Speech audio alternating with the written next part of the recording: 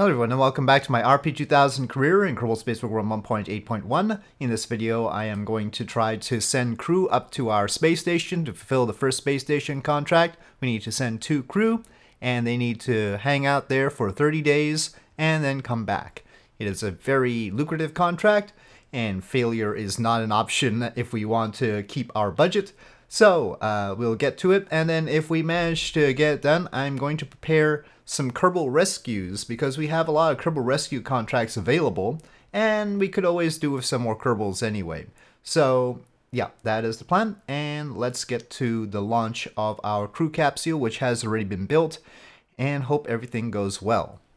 So picking which Kerbals we are going to send up, we see that we have eight Kerbals here, so we certainly could do with some more. So some Kerbal rescuing could be in order. Let's I don't know if it'd be wow. I don't know how Lodman got five points, but what did Lodman do to get five points? I have no idea. A Valentina is sorely lacking in in rank here. Yeah, I think compared to some of the rescuees mainly, but uh, yeah, we'll send Valentina and Bill. I think that would be best. We only need to send two.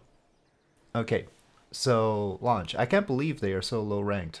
But maybe, I mean, Valentina must have gone into low Earth orbit already, so maybe that's because we didn't risk Valentina on a moon mission or something.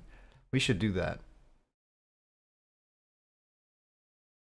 But we have lost Jeb in this series, so, you know, we've been cautious about some of our Kerbals. It's wiggling. That's not great. It has launch clamps and everything. Okay. So, of course, we have to line up with our target. Okay, that's within tolerances. Alright, ignition. We have six engines, go.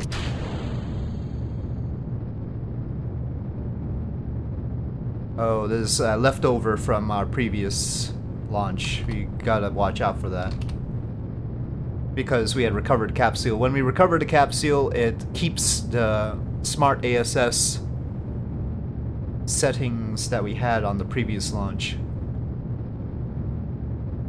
Okay, booster set. Off those go.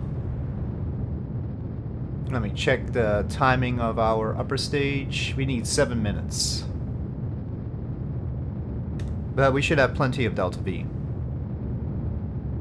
Okay, that is the first stage, separation and ignition and launch escape system separation. And we're good. These are the engine 2 vacuums. And we probably need some pitch.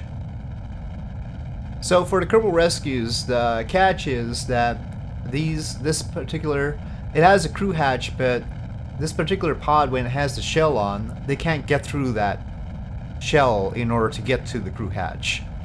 Oh, no, I didn't want to do that. So, what I'm thinking is we're going to have an airlock tucked in here. I've seen some images of them thinking about doing this with Dragon and all, and there have been other variations of this, like with Apollo. Uh, I think during the Apollo Soyuz test project, they had sort of an adapter uh, same idea. We'll have a little module that's an airlock that we'll dispose of.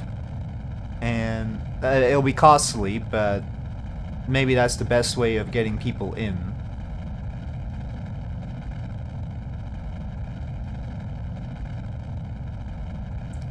We'll have to make sure that it's worthwhile, though. There are a few around the Earth and a few around the Moon.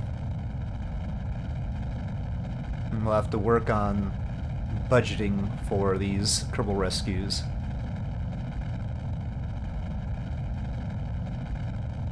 I think I should make the... I mean, in a way, you know, uh, uh originally the Kerbal Rescue contracts were disabled in RP0, the old career mode that I'm basing the contracts on.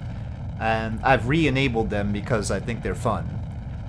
but uh, maybe I should up the value of them because they are a little bit tight on what they offer considering the difficulty of them. I'm, I'm sure they weren't originally balanced for RP0 because they just disabled them. Okay, we are doing very well here. Time to apoapsis is being managed. We'll get to a lower orbit because we obviously have to phase with the station and everything. Oh, okay. Well, we should have deorbited that thing. Anyway. Uh, we have so many things already. We need to clean up that debris. Alright, separation. Hopefully that knocked it just a little bit suborbital. Just a little bit. Oh, we can't get any information on it now. Oh well. Okay. Anyway, this is in orbit. Okay, so now we wait. Power is balanced. We've already activated the pods RCS, I guess. But that was probably because it was already on before. We really don't want that on right now. We might. It depends on how hard it is to dock with the thrusters down here, since they're sort of barely poking out at an angle. That's probably going to be alright. If it turns out that they're not very good at slowing us down, we might need the pods thrusters again. But it's best to reserve that fuel, which is different from the fuel in the service module for the actual descent. Okay, matching speeds with the target. Oh, we're a little bit late, actually. We want to dock on that port. Unfortunately, it's not an inline with the station access port, but, you know, can't have everything. We've got the big quest airlock on the side there. And again, the Lynx module and also the station airlock and the station node that we have here, these are part of the crew vessels pack.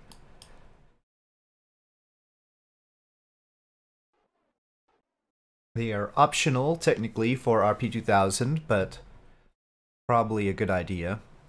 I put it together specifically because I felt that the existing stuff was inadequate. But you could technically use the Hitchhiker storage container for this and uh, the pods that come with Kerbal. Yeah, it's a little bit bad on the RCS orientation, but I think we'll be alright without turning on the pod ones. Okay, we are docked. Let's turn off the RCS. Power seems fine for now. And is it counting? It is counting down. Now we have to wait 30 days. It's got everything else checked marked except for the time and the returning home landing a splashdown bit. So that seems fine. I'm gonna try the tracking station and check on the contract. I hope it doesn't mess anything up. There's all sorts of possibilities for glitches with contracts after all. Okay, let's see it seems to still be counting down. So we'll pay attention to it. We're at February 6th.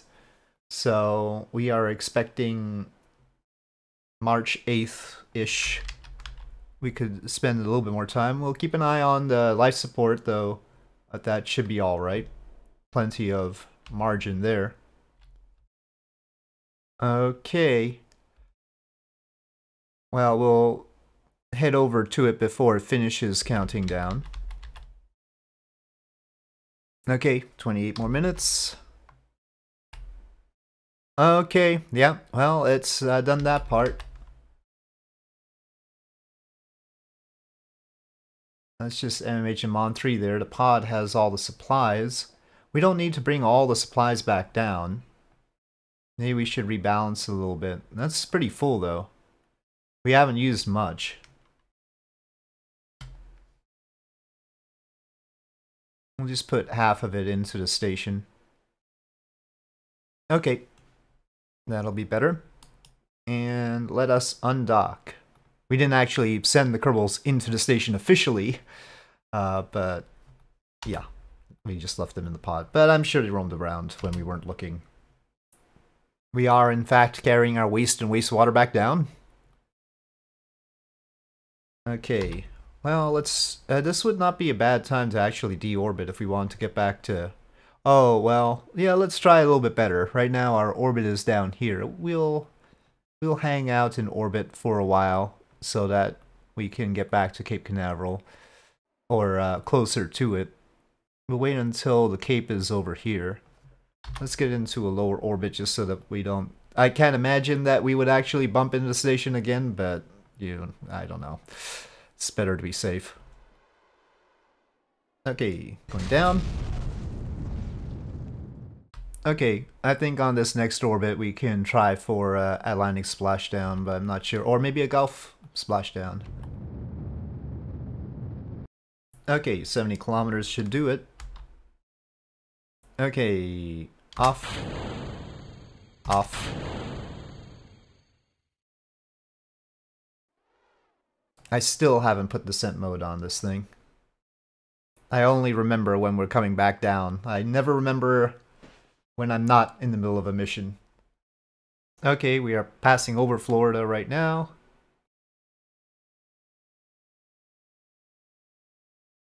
In fact, just south of the Cape, it's right there.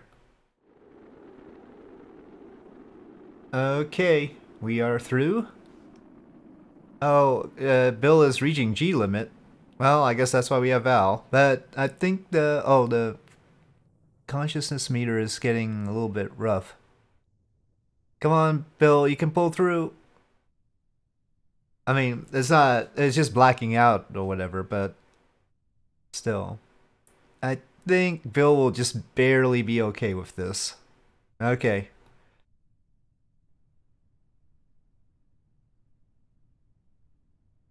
Need to get Bill some better training. Okay, the dreaded aero cap separation. Okay, that was clean. I always worry though. They'll get caught on the docking port or something. And splashdown. Alright. And once we stop bouncing, recover. And recover to VAB. Maybe we should retire this pod already. I don't know how many times we've actually used this one. We do keep recovering to VAB and potentially reusing them. Okay, uh, didn't, didn't give us that much money. Let me see, contract is gone. How much was it worth? It seemed... I guess we got a lot of advance though. Uh, it was uh, 525,000 advance. Completion was only 225. The only other milestone ones we have left are crewed Mars flyby and crewed Venus flyby. Very lucrative, but we better be ready for it because it's, I mean, it'll give us maybe two chances. Uh, we should think about that, but maybe we need a few more Kerbals here and there. We still got one more shot at the repeatable human orbital around, or Kerbal orbital, around the moon contract. Though that only gives us a year, but it is the moon. But we should probably build the missions first. And then there's the rescue and recovery contracts. You can see we have 10 here. Now, if we do the lunar orbital one, we could probably pick up some of these Kerbals. And there's one, two, I don't want to do surface ones yet. One, two, three, four, five, six in orbit around the moon. Now, they could be in weird orbits, so there's that to consider as well. But overall, if we could pick a few up, we should be in good shape. And these give us a lot of time to do them. So let me start off by just taking all of them. I mean, that's 20 years.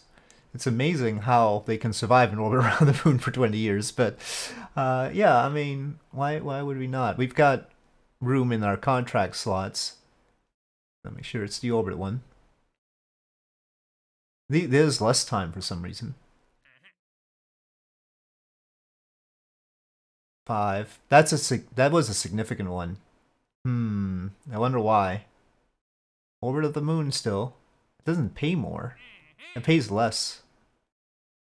Oh, oh, the others are exceptional, right? Okay. That was actually less complicated somehow. That leaves us only one free, and that one free one will be the the human orbital one here.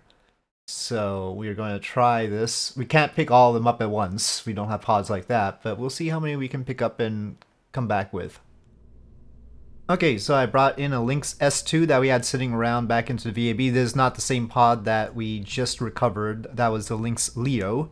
So there's another one. We basically have two in service right now. And so we have rebuilt this. I put new parachutes on. Let me always double check that you actually did put the new parachutes on. Yeah, I took the old ones off. And we've got a new heat shield, but the difference is now we have a lander can here. And yes, I added a decoupler down here to make sure that we could get it off of that. And so this will flip around and dock to that, take it off, and then that'll serve as our airlock. And it's just a Mark 1 lander can, normal one, just one crew capacity, because that's lighter than the the advanced one. And we don't need more crew capacity because they wouldn't be able to come back home anyway if we picked them up and left them in there. So, yeah, that is right there. And to compensate for the extra mass, it's only a little bit of extra mass. I didn't increase the size of the service module here. I think it'll have enough. It's got 2,174 right now. Of course, it'll have less when carrying that can. But that should be enough to do something around the moon. I don't know how much. We will have to see. And at least get one of them done. I don't know. But we have also compensated by increasing the utilization on this stage and the upper stage as well. So we're at 91% utilization here, let's say common bulkhead tanks or something. Uh, because the dry mass of this is pretty heavy, you can see. It's nearly 10% of the stage. I mean, it's a very heavy stage because it's hydrolox again. But still, when you think about it, the shuttle, like, well, we can't really compare to the shuttle because of the way it bears load. I wish everything was like the shuttle external tank. But yeah, the shuttle external tank is much heavier overall, but has the less dry mass. Uh, but yeah, anyway, it's a heavy stage, so I've justified increasing utilization here and also increasing utilization here as well. So that helps as far as keeping us below 800 tons while still delivering the delta V that we need. So hopefully that'll all work out. We've only got 20 layers of MLI here. I don't know if we want more of that. We could sneak a few more. Let's go with 50. I don't know whether it can help. I, think it'll probably be done and won't be able to help with capture or anything, but you never know if we can bring it all the way over. Uh, okay, so I'm gonna save that. I hope that we have enough RCS down here to keep it stable. Um, I mean, that seems like a lot. I think that'll be enough to keep it stable while we grab the lander, right? But there's no controller on here. Well, the lander has a controller. But maybe we should put an antenna? Hmm. That is a good question. Guess we'll put two antennae down here, just in case.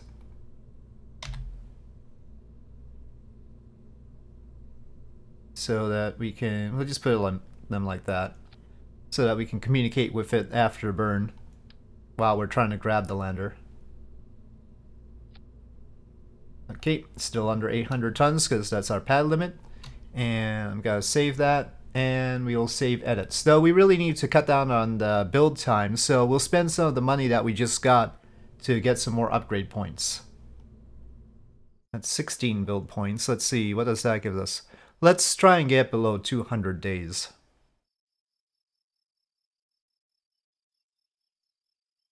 Okay, we are now below 200 days on building the Lynx, So we can build a moon-capable crewed launcher in 200 days. That would be good. Well, as long as we're reusing the pod.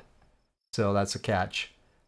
I hope it didn't charge us full price and correctly accounts for the fact that we're reusing the pod. Anyway, we will time warp through that and get on with that mission, or at least launching it. I don't know if we can do all the rescues today, but we'll see. This Lodbin rescue, actually, that might be a third Lynx pod. No, I think that was uh, we actually used the Mark One command pod, the stock one. Yeah. All right, time warping. Okay, I have finished building one, and we've got another one under construction. Uh, interesting that it seems like the build time was the same, even though this one was using an existing capsule, so I don't really know how that all shakes up as far as the build times and whether it's properly taking into account that we recovered those. Maybe I should just recover the money and build new ones. I'm not sure. But anyway, so we're down on our money. But on these recovery contracts, rescue contracts, we uh, get a lot of money for completion. So rolling out. I think we will send one person with the pod just for safety's sake because we might lose communication or something. And I don't know if it's got Delta V enough to rescue two people or more. So we'll try, t- I mean, uh, more than two people, I mean. Uh, so we'll just try to rescue two at a time. Okay. And there's still, well, I think we should send Valentina. Valentina will be our one. She needs more points. So, okay, launch. Please, game, don't kill Valentina. There's still a lot of randomness as far as engine failures and such. We've got redundancy, but things can still happen. Oh, we've got to dump the waste and wastewater from the pod from before. Uh, we are topped off on the supplies at least.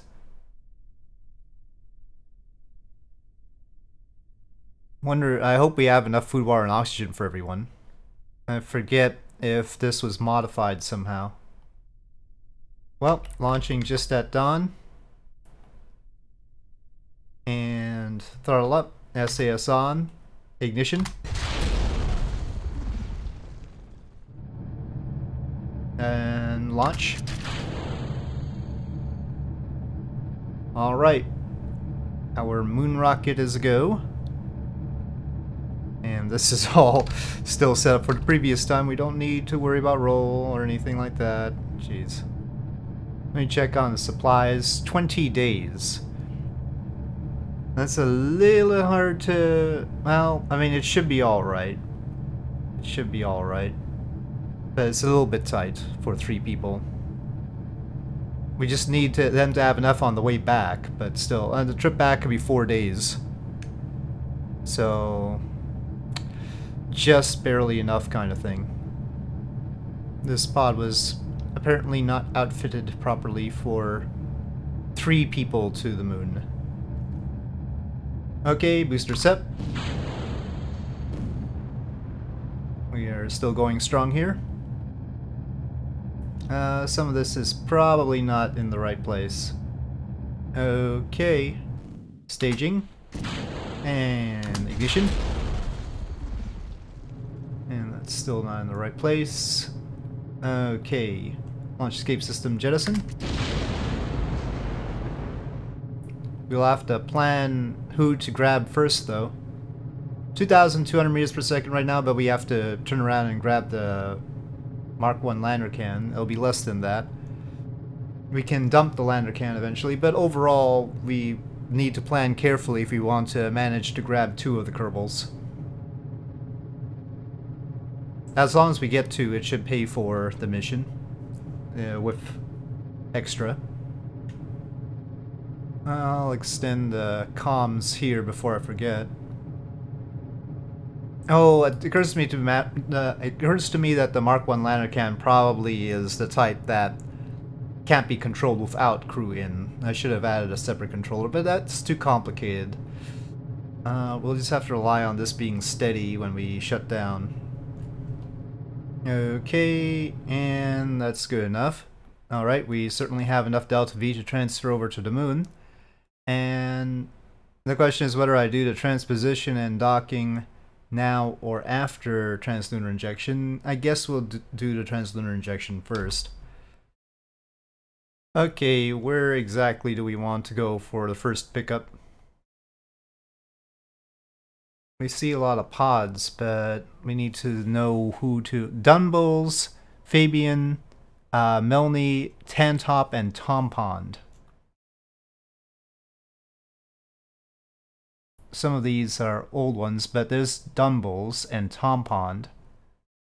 Well, we'll probably need to capture down low first.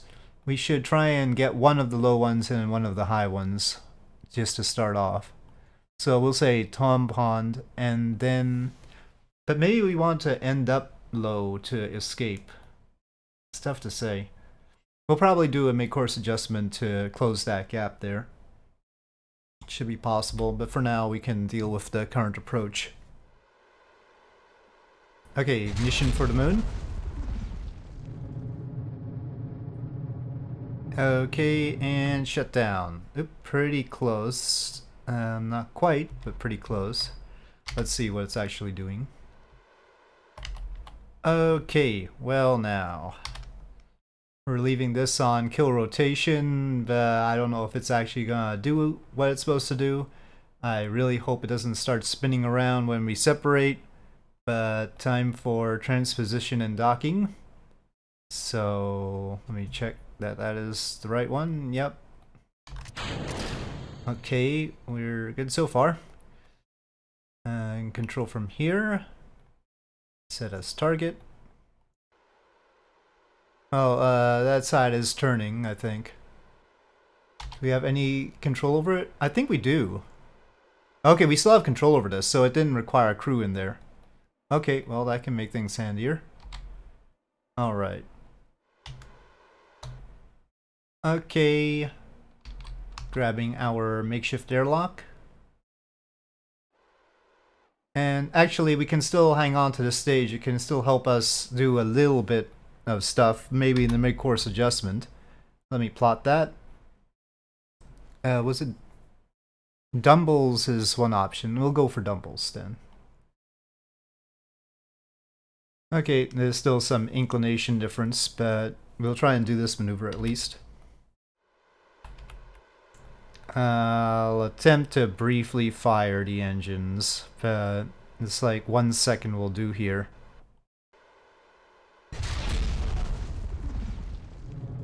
Okay, well, that'll help. The RCS was taking too long for sure. Okay, I think we're looking good enough. Alright, on to the moon. Yep, okay, so that'll be the initial capture burn. Oh, we, we can't take that long though. I don't want to take too much food, water, and oxygen, so we'll uh, bring it down a little bit more than that. We'll still use this stage to do part of the initial capture burn. That'll save us some. Yeah, it's taking a while to settle the fuel down. Well, there's like record amounts of time to settle the fuel down. Okay, well, it's finally settled. Alright, ignition. But yeah, that's a bit weird. And capture. Alright. Well, now we have to be careful. First, decouple. Then control from here, which should be opposite. But actually, kill rotation, I don't want to risk the solar panels bumping into the stage. Alright. So we have nine, uh, 1,946 with the Mark 1 lander can. That's not too bad. Okay, now point at the node, please. We have not technically captured yet that apoapsis is higher than the SOI of the moon. Okay. Ignition.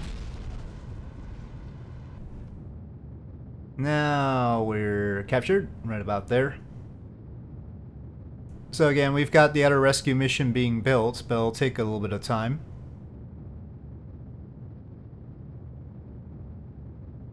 If we can do that one automated, that might be nice so that we... But we still have to do the human orbital repeater mission. So we probably have to send another Kerbal out anyway to do that. Looks like we're doing the rescues two at a time. Right, well, that's what we have planned, but we will do that next time. We will see how the rescues go, and hopefully everything will go well. We have to reserve at least 800 meters per second to get back, probably more. So after this and the rendezvous burn there, that combined will cost about 600. That doesn't leave us a whole lot to grab somebody else right now. So this whole business, I mean, probably we wouldn't be able to get to three different Kerbals anyway. It was all very optimistic. We may need to upgrade the launch pad finally instead of having the 800 ton restriction. That could help. But anyway, we will leave Valentina here with the awkward portrait position, and we will see how things work in the next video. So with that, thank you for watching. I hope you enjoyed this video. If you did, please do press like. If you have any comments or suggestions, please leave them in the comment section below, and I'll see you next time.